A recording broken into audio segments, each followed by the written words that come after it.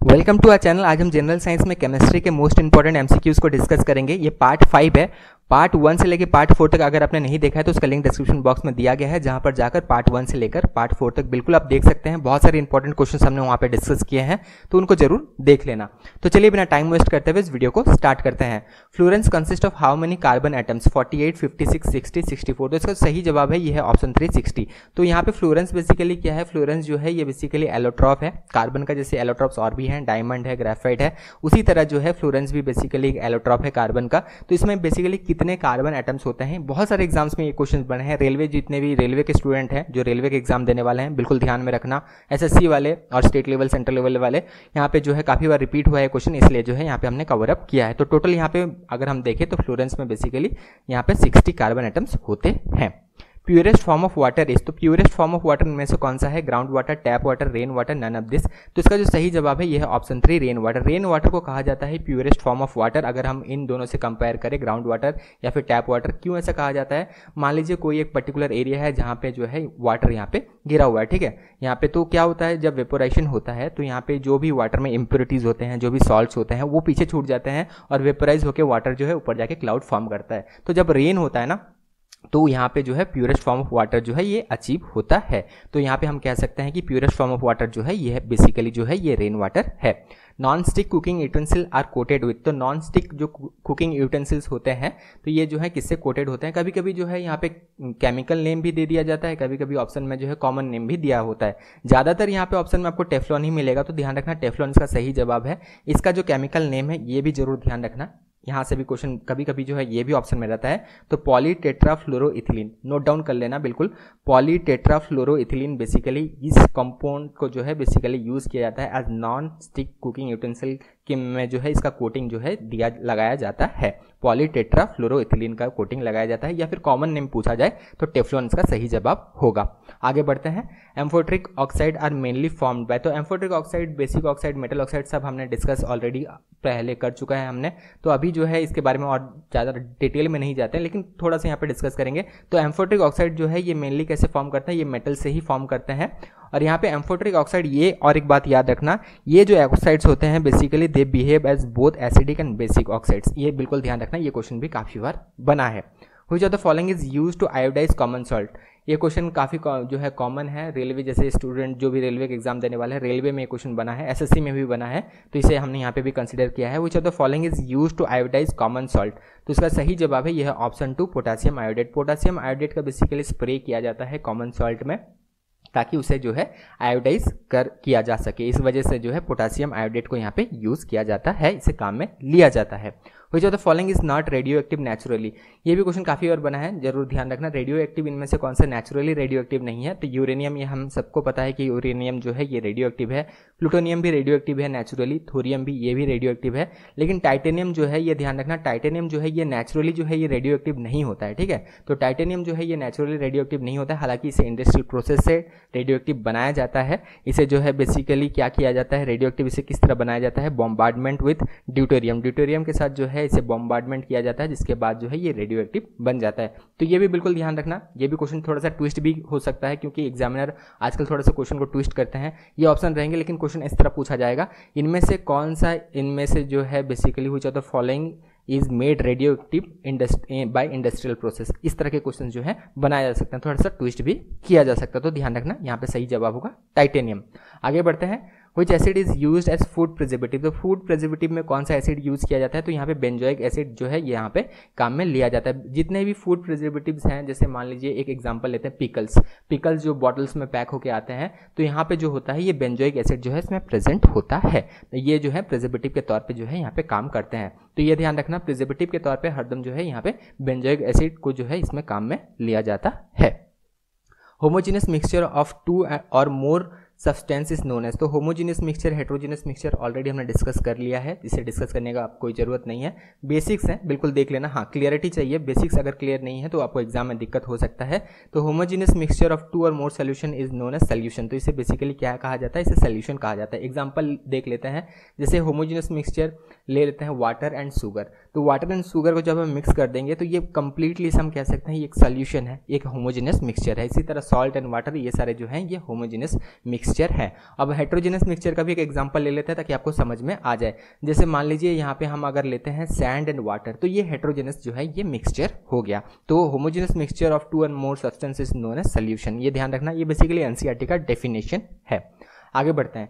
Which metal ion is constituent of chlorophyll तो chlorophyll का कौन सा इनमें से मेटल आयन जो है, ये कंस्टिट्यूएंट है? आयरन कॉपर मैग्नीशियम जिंक इसका जो सही जवाब है, ये है मैग्नीशियम मैग्नीशियम जो है, ये बेसिकली कंस्टिट्यूएंट है ऑफ़ क्लोरोफिल ये जो मेटल आयन है बेसिकली मैग्नीशियम जो मेटल आयन है, ये प्रेजेंट होता है क्लोरोफिल्स में जो है, ये प्रेजेंट होते हैं। ये जो लिप्स में जो है, ये प्रेजेंट होते हैं।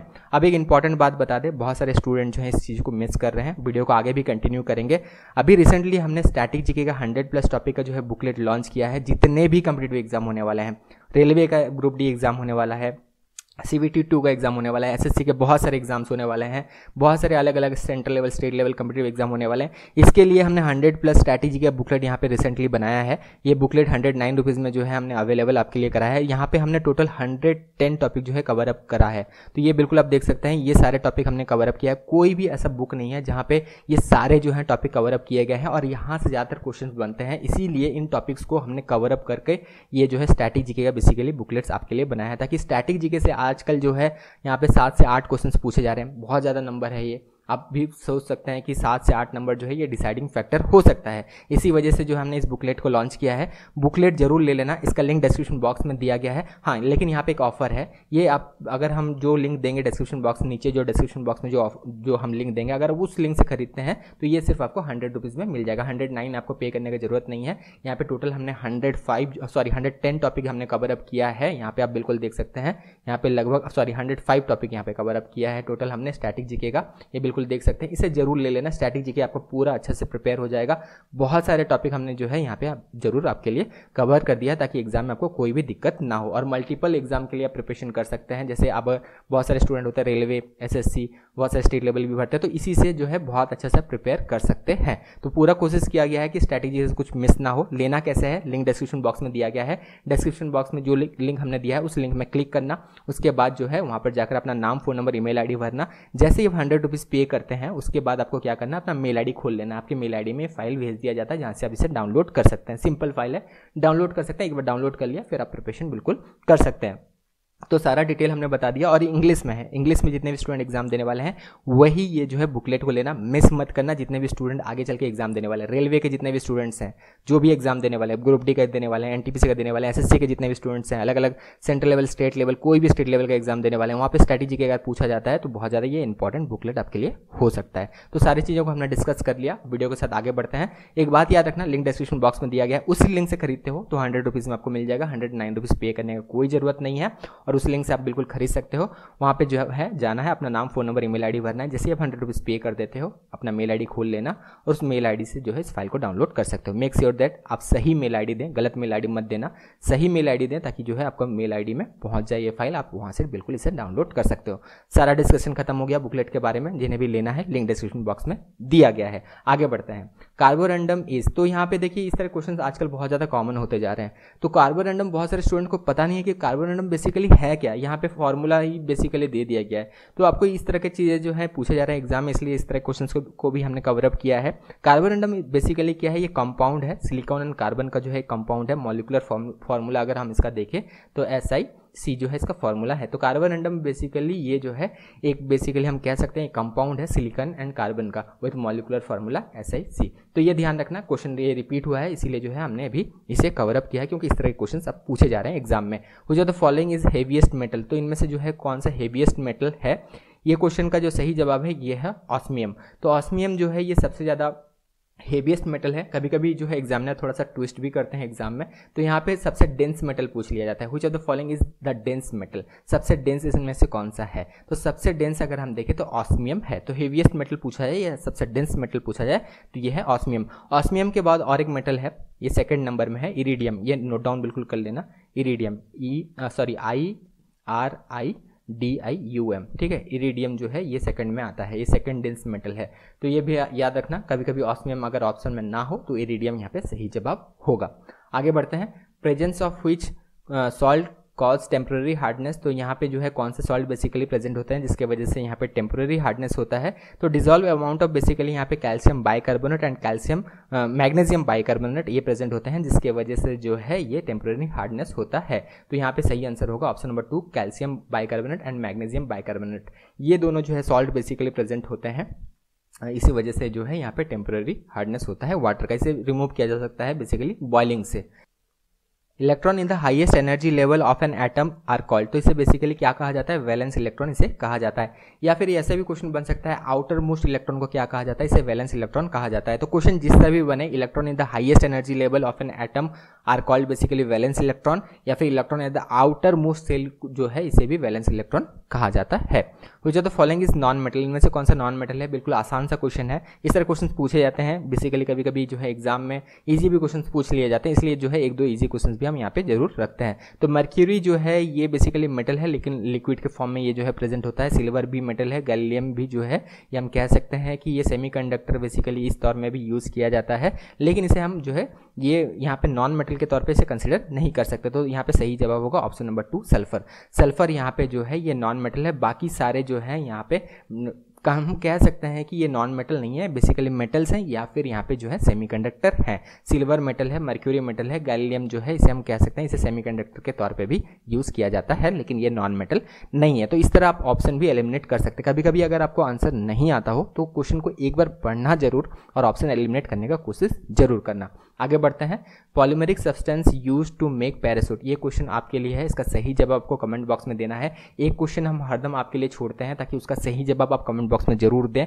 तो इसका जो है ऑप्शन बिल्कुल देख लेना। रेयन विस्कोस कॉटन टेरिलिन तो इसका जो सही जवाब है, ये आपको देना है टेरिलिन या फिर कॉटन या विस्कस या रेयन कौन सा इसका सही जवाब है? Polymeric substance use to make parachute तो पैरासूट बनाने के लिए इनमें से कौन सा पॉलीमेरिक सब्सटेंस को यूज़ किया जाता है? कमेंट बॉक्स में आपको इसका सही जवाब बताना है।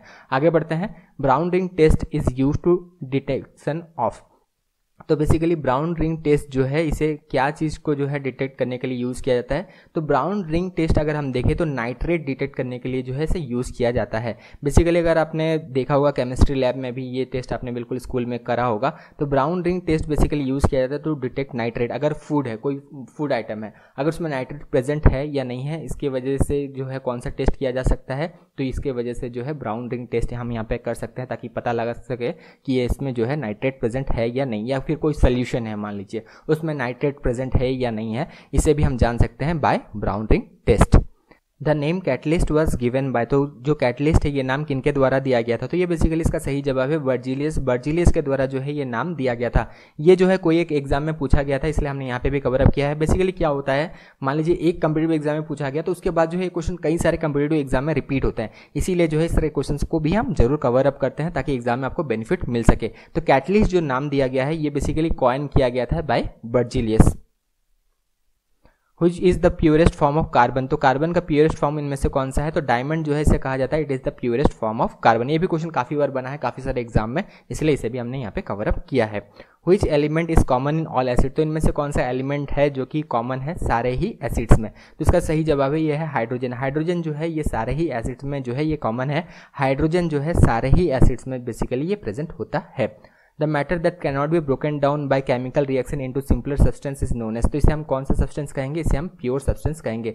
प्योर सब्सटेंस वो सब्सटेंस होते हैं जिसे और फर्दर जो है इसे ब्रेक डाउन नहीं किया जा सकता है। The matter that cannot be broken down by chemical reaction into simpler substance is known as pure substance the ultra pure metal is obtained by तो अल्ट्रा प्योरिफिकेशन यह कैसे किया जाता है? तो इसका जो प्रोसेस है, ये है जोन रिफाइनिंग ठीक है? तो मेटोलॉजी बिल्कुल देख लेना मेटोलॉजी एक इंपॉर्टेंट टॉपिक है। यहाँ से एक या दो क्वेश्चन ज़रूर बनता है केमिस्ट्री से। बहुत सारे स्टूडेंट इसे मिस करते हैं। मेटोलॉजी के रिलेटेड हमने काफ़ी सारी चीज़ें जो है आगे भी डिस्कस करा है। काफ़ी सारे क्वेश्चन भी डिस्कस करा है। तो अल्ट्रा प्योर मेटल या अल्ट्रा प्योरिफिकेशन जो किया जाता है, ये बेसिकली जोन रिफाइनिंग प्रोसेस से किया जाता है।